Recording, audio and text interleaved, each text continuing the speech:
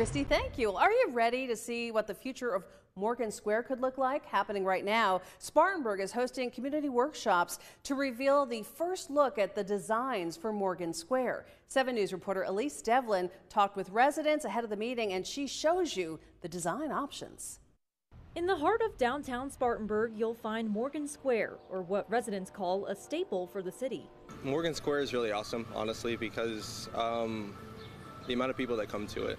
Uh, there's a diversity in culture. It's been close to a year since City Council created a team of members from restaurant, real estate, business, and development industries. Since then, hundreds of sketches have been exchanged and residents' ideas heard, leading the team to three final designs. What's happening in Morgan Square is a testament to our capacity as a town and as a city not only to adapt, but to thrive. The first design concept is called Knitting into the Urban Fabric. It would aim to merge the historical forms of Morgan Square into a new design to better showcase the square's authenticity. The second option is called Celebrating the Landscape. This design would focus on the geographic location of Spartanburg and how the square represents the heart of thriving businesses and social life. The last design is called Hub City Coming Together. It can be geared towards pedestrian safety and allow for more comfortable movement for daily activity and enjoyment as the population grows. I also like the idea of looking at Morgan Square uh, as a living room.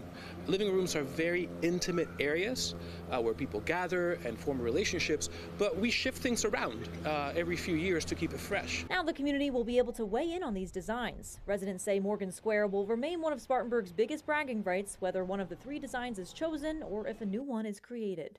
It came about because of COVID, so if we can turn a worldwide pandemic into an opportunity, there's really no stopping us. The meeting will last until 6.30 tonight. In Spartanburg, Elise Devlin, 7 News.